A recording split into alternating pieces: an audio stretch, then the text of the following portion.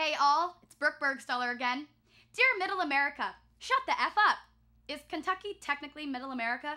Whatever. Kentucky, suck it up.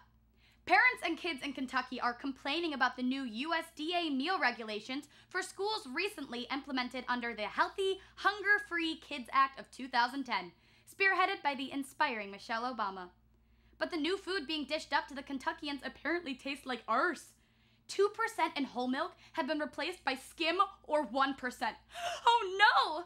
Bread has switched from white to wheat. Say it ain't so! And there's now a calorie cap on meals 850 calories for high school lunches, 700 for middle school, and 650 for elementary school kids. No! Just stop it now!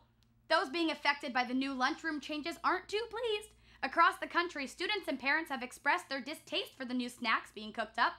And some wealthier school districts are even backing out of the National School Lunch Program, foregoing a six figure annual subsidy. I don't understand where all the praise is for Michelle's nutritional action. She's gonna help your kids not get fat. Let's be real. When you sent them off to school with Snickers and soda, that's the path they were headed down.